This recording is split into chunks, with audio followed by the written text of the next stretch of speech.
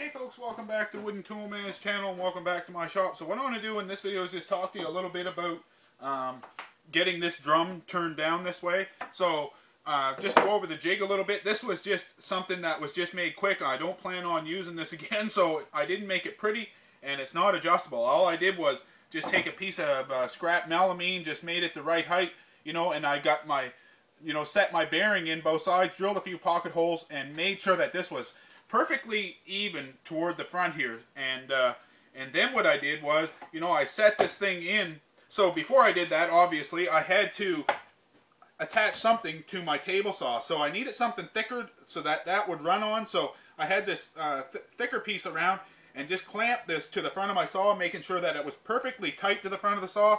And then I needed a, a spacer stick because I didn't have my my a wide enough board laying around that would uh, that would bring that far enough forward so then this would just run up against that. So then as you can see I just pushed it to the side. I raised my blade to the height that I knew I was going to need. Did the same thing on both sides. Then I just flipped it over and chopped that out with my saber saw.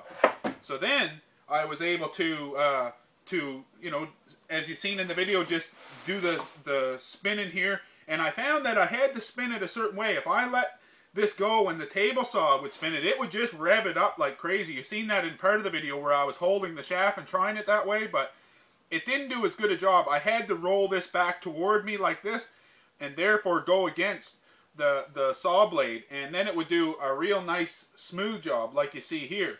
Um, so then, you know, before that, you've seen in the video I was gluing up my, my pieces well, I just glued them up, I put them all together, and then I put a washer on each end. I cinched that right up tight, and I didn't worry about any twist. It didn't matter. You know, when I was done, the whole thing was kind of twisted because I was going to round it out anyway. And uh, so then once I had it, you know, cinched straight up, right tight, I didn't even use any clamps. I just brought it over, geared this thing up, and turned it down. It took about 13 minutes to, from the time I started the video. That's how long the video was without doing any editing. So I wanted to check this once I was done, and I didn't have any calipers, so I just geared this up right quick. Uh, just a few pieces of wood nailed together and then a hole drilled in them so that I could have these bolts come out each end, and this gives me some adjustment. Now I want to, to be able to test this, I'm just able to adjust this up now, as you can see, and, and if I test this thing, it's the perfect consistency all the way down. This thing, this drum, I'm literally amazed because I didn't even have to do any adjustment on it. I just made sure that everything was tight, everything was consistent. When I ended up, this is what I ended up with.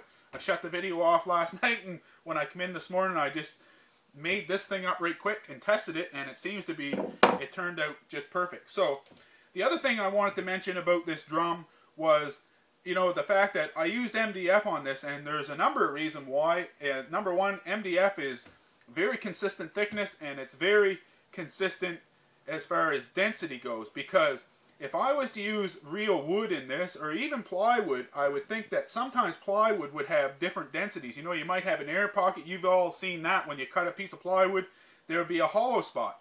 And uh, But with MDF, it's not like that. So MDF is very consistent density. And the reason why you'd want to worry about that is, is you see how easy this drum spins. It takes very little effort to spin this. Well, if I take something like as something as light as this washer and just stick it to the side of this thing, I want to show you what will happen. Look at this drum go. It's going to go right to the bottom. But if I put this to the top again and I take this washer off, this drum will not move. I can't get it to go that way. It'll just go and stop without... And that tells me that this is perfectly balanced now. So if I really rev this up, this thing isn't going to vibrate. But if I had...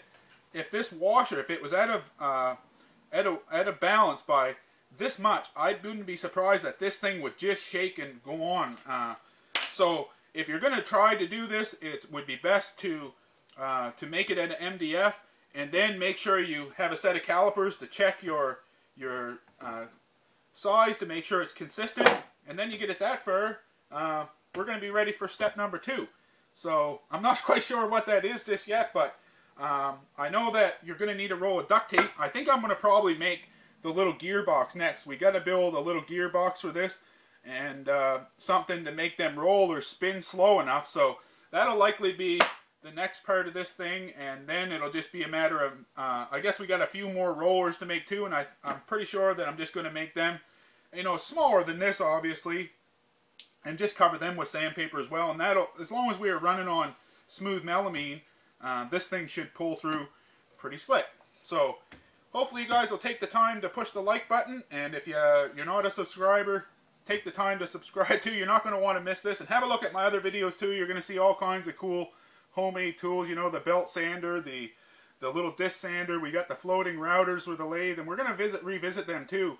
Um, after, especially after playing around with and, and, seeing how good a job this does with the table saw. There's no reason why I can't couldn't carve uh, a profile with this if I had some sort of saw geared up to be able to do that. Because this thing did an amazing beautiful job. Uh, MDF is probably one of the hardest materials to curve like this and uh, and this did an awesome job and I could just see this I got to revisit the lathe on this anyway. So you guys keep tuning in. I thank you for watching this video and we'll see you next time